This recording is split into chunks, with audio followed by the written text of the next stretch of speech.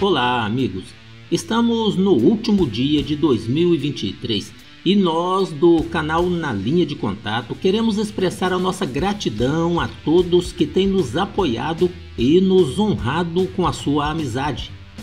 Somos gratos a todos e em especial aos amigos que atenderam ao nosso chamado quando a plataforma passou a desmonetizar parte de nosso conteúdo e estão contribuindo com doações muito importantes que têm nos ajudado a manter o canal funcionando.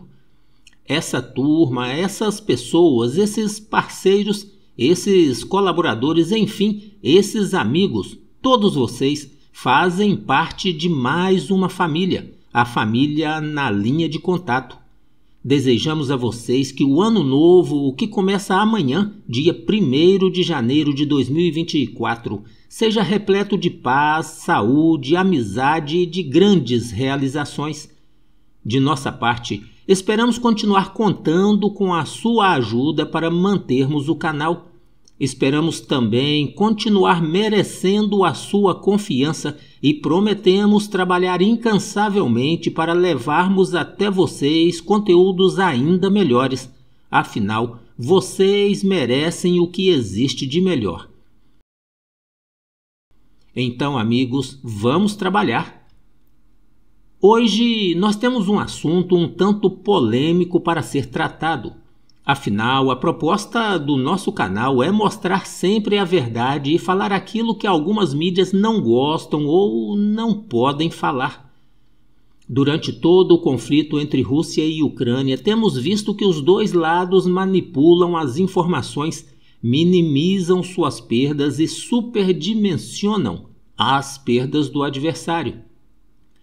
Esse fato foi claramente observado quando os ucranianos informaram que durante o grande ataque do dia 29 de dezembro de 2023, a Rússia lançou contra eles 158 artefatos entre mísseis e drones, e eles conseguiram interceptar 114 desses artefatos.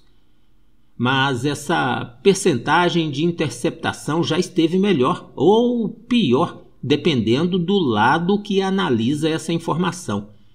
Antes, os ucranianos costumavam informar que conseguiam abater quase todas as munições lançadas contra eles. Às vezes, para não caírem no ridículo, costumavam deixar passar um ou outro drone ou míssil. É claro que as crateras, os grandes incêndios e a correria mostrados pelas mídias sociais desmentiam essa narrativa. Pois bem, amigos, como dizem que não existe mentira que dure para sempre, as informações contidas em matérias desta última semana de 2023, publicadas pelas revistas Eurasian Times e Military Watch Magazine, vieram para contrariar algumas pessoas que acreditam nessa narrativa do governo ucraniano. Segundo essas duas fontes, Após o grande ataque russo do dia 29 de dezembro, oficiais das Forças Armadas da Ucrânia informaram que os mísseis KH-22, que normalmente são lançados pelas aeronaves Tu-22M3, se mostraram impossíveis de serem interceptados. Eles disseram também que desde o início das hostilidades nenhum míssil KH-22 foi interceptado pelas defesas antiaéreas da Ucrânia. Segundo a revista Eurasian Times, o porta-voz da Força Aérea Ucraniana, Yuri Ignat, disse que as unidades de defesa antiaérea do seu país se mostraram incapazes de interceptar qualquer um dos mísseis supersônicos russos KH-22 durante o último ataque. Segundo o site Military Watch Magazine, Yuri Ignat disse que cerca de 300 KH-22 e KH-32 já foram lançados contra a Ucrânia e as defesas de seu país não conseguiram interceptar nenhum desses mísseis. O KH-22 foi desenvolvido originalmente como um míssil antinavio que, em seguida, adquiriu capacidades para atingir alvos em terra. Ele tem um alcance de aproximadamente 600 quilômetros e pode ser lançado tanto em alta quanto em baixa altitude.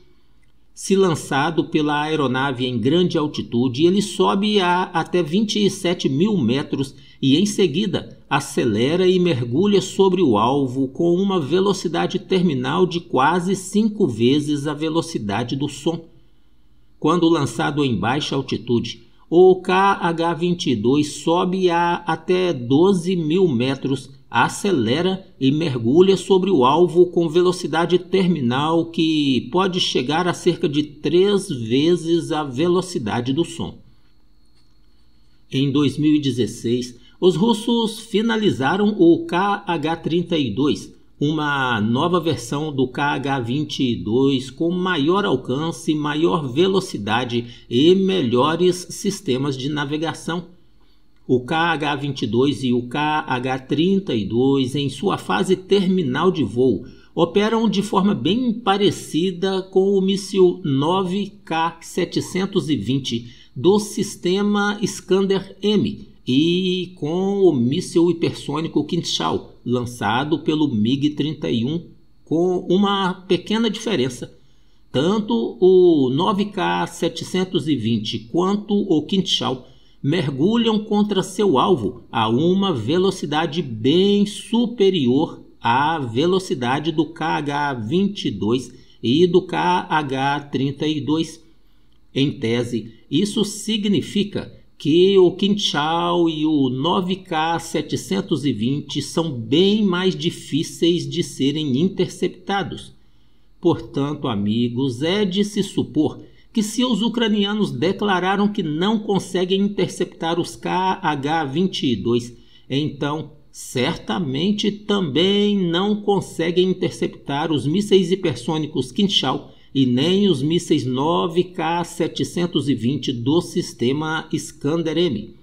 Sendo assim, também é de se supor que eles mentiram em suas declarações anteriores, pois não conseguem interceptar a quantidade de mísseis que vinham declarando. Pois é, amigos, e você que é aquele parceiro do nosso canal e aprecia nosso trabalho, lembre-se que contamos com seu apoio para continuarmos trabalhando. Compartilhe nossos vídeos, comente, deixe seu like e, se puder, faça aquela sua contribuição via Valeu ou via Pix, pois isso nos ajuda muito e o canal realmente precisa desse seu apoio. Deixaremos a chave Pix lá na descrição deste vídeo. Toda e qualquer contribuição é muito bem-vinda. Obrigado pela sua companhia e até o nosso próximo vídeo.